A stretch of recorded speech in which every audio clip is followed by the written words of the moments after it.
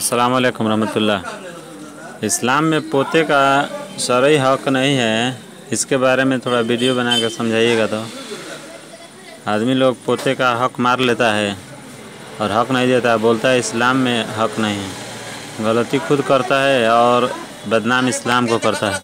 ये हमारे भाई साहब हैं जो एक सवाल पूछ रहे हैं पोते के हक से मुतलिक और हमारा ख्याल है ये विरासत से जुड़ा हुआ मसला है। यानी ये कहना चाहते हैं कि विरासत में मरने वाले के पोते का हक है कि नहीं? और साथ में ये जवाब भी देने की कोशिश कर रहे हैं कि कुछ लोग पोते का हक मार लेते हैं और इल्ज़ाम लगाते हैं इस्लाम पे, कहते हैं कि इस्लाम में पोते का हक नहीं है। तो आपके असल सवाल के जवाब देने से पहले मैं वाजे कर दूँ कि लोग पोते का हक जितना नहीं मारते, उससे कहीं ज़्यादा बेटियों का हक मार लेते हैं। ये बात अच्छी तरह जहन नशीन करें कि आज लोग इस पर तो कसर से सवाल उठाते हैं कि पोते का हक है कि नहीं। उसके लिए दुनिया भर की बहस की जाती है। हती कि कुछ नादान लोगों ने तो बाकायदा कुछ मकाले और बहस लिखने की कोशिश की है। ये बताने के लिए कि पोते को भी कुछ दिया जाए, जबकि उसका हक नहीं होता है। जिन हालतों में उसका हक नहीं होता है, उन हालतों में भी उसको दिलाने के लिए कोशिश की जाती है। ये सब कुछ हो रहा है किसके लिए? पोते के लिए। और एक बेटी के लिए जिसका हक कन्फर्म है। जिसके बारे में दुनिया में कहीं इख्तलाफ नहीं है, किसी मसलक का इख्तलाफ नहीं उसके लिए कोई बहस नहीं करता, उसके लिए कोई सवाल नहीं करता, उसके लिए कोई किताब नहीं लिखता, उसके लिए कोई क्वेश्चन नहीं करता।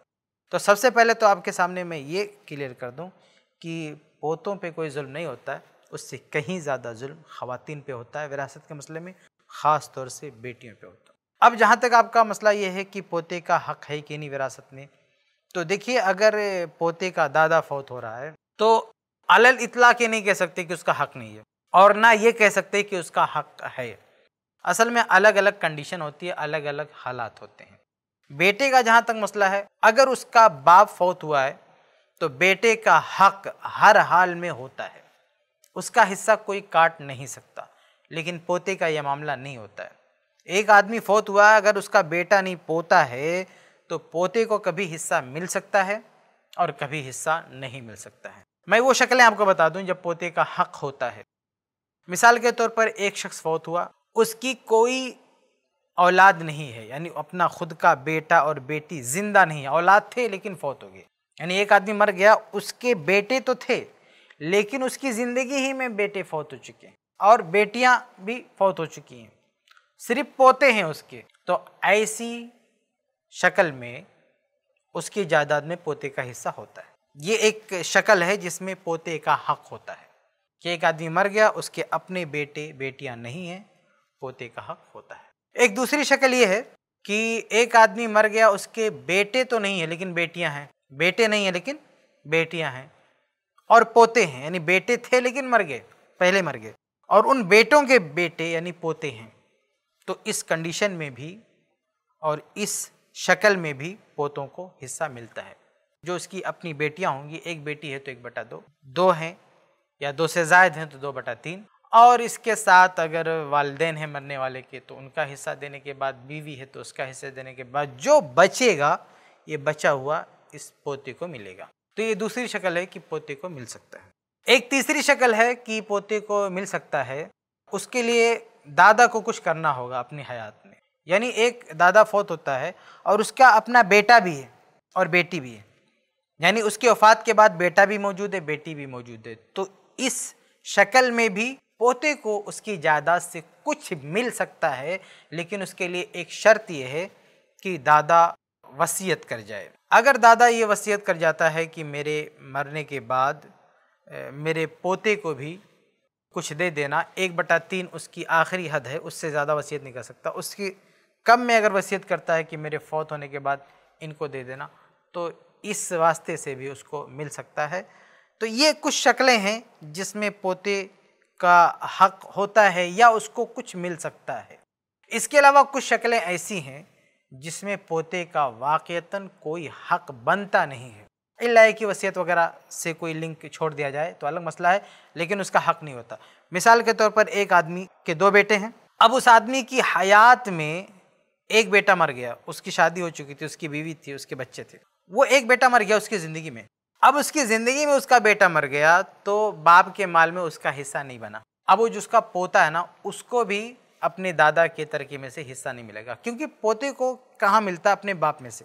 लेकिन बाप को अपने बाप से नहीं मिला, यानी पोते के दादा से नहीं मिला तो उसको कहाँ से मिलेगा?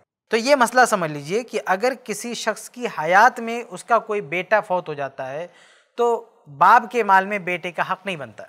क्योंकि उसूल क्या है? जबता ये कि जब तक बाप ज़िंदा है, बेटों का हक नहीं बनता। असल में यही हमारी सबसे बड़ी गलती है। हमने क्या समझ के रखा है कि अब्बा का जो भी माल है, वो हमारा है।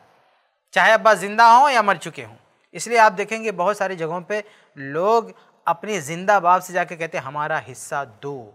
इन नालायक औलाद को कौन बताए कि जब तक तुम्हारा बाप ज़िंदा तुम्हारा हक बना ही नहीं। ये बहुत ही अहम नुकता है इसको समझें कि जब तक बाप ज़िंदा है, उसकी जायदाद में उसके बेटों का हक नहीं बनता है। बाप फौत हो जाए, हक बनता है। लेकिन जब तक बाप की साँसें चल रही हैं, बेटों का हक नहीं बनता है। तो अब अगर बाप की ज़िंदगी में कोई बेटा मर जाए तो इसका मतलब ये कि बेटा ऐसे टाइम मर गया कि उसका हक बना ही नहीं था। इसलिए जब दोबारा बाप मरता है तो उसकी जायदाद में इस बेटे का हिस्सा नहीं होता है। क्यों? क्योंकि ये उस टाइम मर गया जिस टाइम इसके बाप की जायदाद में इसका हक बना ही नहीं था। तो ये नुक्ता समझें। कि जब तक बाप ज़िंदा है, बेटे का हक नहीं बनता है। इसलिए बाप की हयात में कोई बेटा मर गया तो महरूम हो गया। तो अगर मैं मिसाल बता रहा था कि अगर एक आदमी के दो बेटे हैं, एक बेटा उसकी ज़िंदगी में मर गया, उसका भाई परिवार है, बीवी है, बच्चे। अब अगर ये शख्स मरेगा तो उसका वारिस सिर्फ़ उसका ज़िंदा बेटा होगा, जो उसके वक्त ज़िंदा था। ये आदमी जो मर चुका है, ये उसका वारिस नहीं होगा। इसलिए उसके जो पोते हैं, वो भी वारिस नहीं होंगे। ये इस्लाम का कानून है, कुरान का, हदीस का। क्योंकि कुरान में और अहादीस में बता दिए गए हैं कि किसको हिस्सा मिलेगा। तो अगर करीबी औलाद नहीं है तो दूर की औलाद को हिस्सा मिल सकता है, लेकिन अगर करीबी औलाद मौजूद है, मुजक्कर करीबी और मौजूद है तो दूर की मुजक्कर औलाद को नहीं मिल सकता। सही बुखारी की बड़ी ही मशहूर हदीस है, अल्लाह के नबी सल्लल्लाहु अलैहि वसल्लम फरमाते हैं कि अलहक़ुलफ़राइद बहलिया फ़मा बकिया फ़ली अला रजुलिन ज़कर।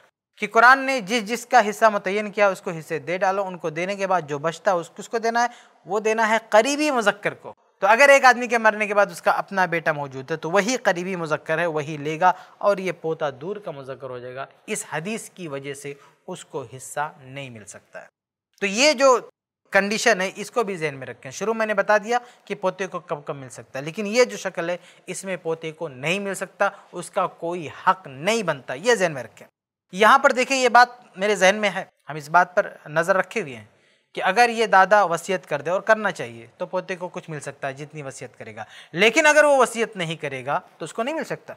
और कोई उसको फोर्स नहीं कर सकता। यहाँ पे कुछ लोग ऐसी ज़बान इस्तेमाल करते हैं। ऐसा लग रहा है कि ये कहकर कोई गलती हो रही है कि पोते का कोई हक नहीं है। कोई गलती नहीं हो रही है। इस्लाम का ये सिस्टम है।